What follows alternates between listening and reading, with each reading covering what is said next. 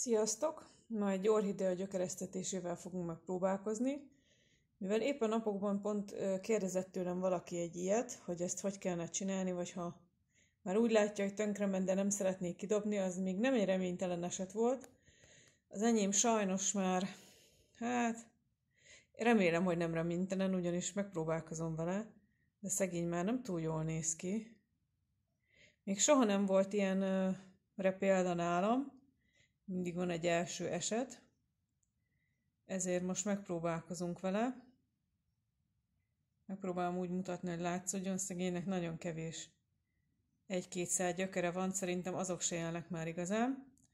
A lényeg az, hogy még én ilyet nem csináltam, hozzá is tettem annak, akinek válaszoltam, de most sajnos, hogy sor került rá, így most kipróbáljuk. Ez egy mini orhidea.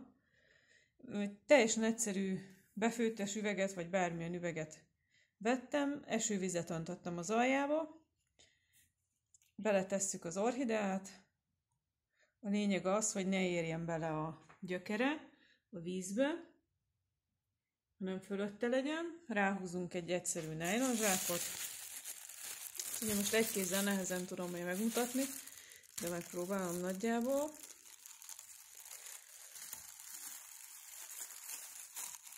Tehát rátesszük a nájlonzsákot, ezt majd annyira fogom elkötni, hogy azért egy pici ö, levegőt azért tudjon alulról kapni, és néha meg kell nézegetni, hogy ne nagyon legyen ö, befülledve, és szellőztetni, és egy melegebb helyre teszem, aztán majd idővel kibontjuk, és meglátjuk, hogy mi lett belőle.